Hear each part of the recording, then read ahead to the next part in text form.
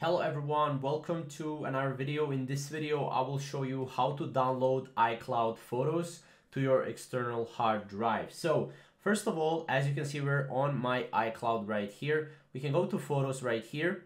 And once we hit photos, as you can see, we will go to the photos right here. So here what we can do is we can control A to select all the photos. And what we can do is, as you can see, we selected 2000 photos we can either upload this here to you know other cloud like Google Drive or something like that or what we can do is we can hit here download and then we should be able to download uh, all the originals and most compatible as well. And once we download those what we can do is we can go to our uh, computer right here.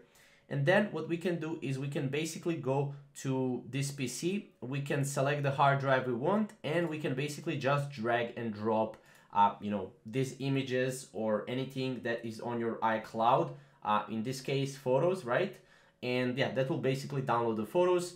Here you also have a lot other options. You know, you can uh, go here, you can download, you can share this if you want, you can share the link, you can copy the link. As you can see, we have too many items selected. So you can also copy the link as well and share that as well. So Uh, that's pretty much how to download iCloud photos to external hard drive. If you have any questions or comments regarding this whole process, comment down below and we'll see you in the next video. Thank you guys for watching.